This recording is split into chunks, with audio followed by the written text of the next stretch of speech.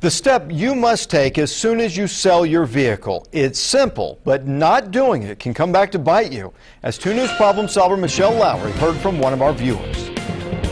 Hermit had an accident that totaled his car. That was bad, but things got worse after he sold it to a salvage yard. He says, I received notice from Pike Pass saying we had a violation. The violation was on a vehicle that had my old tag on it. What can be done?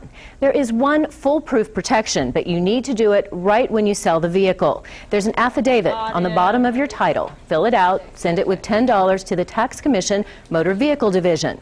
You can also file a transfer of ownership form at any tag agency agency also for 10 bucks.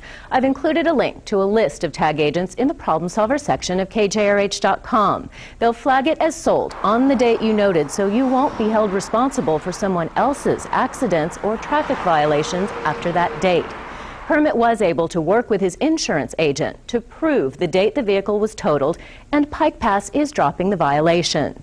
The transfer of ownership protects you not only from misuse of your tag, but also if the buyer doesn't bother transferring the title into their name.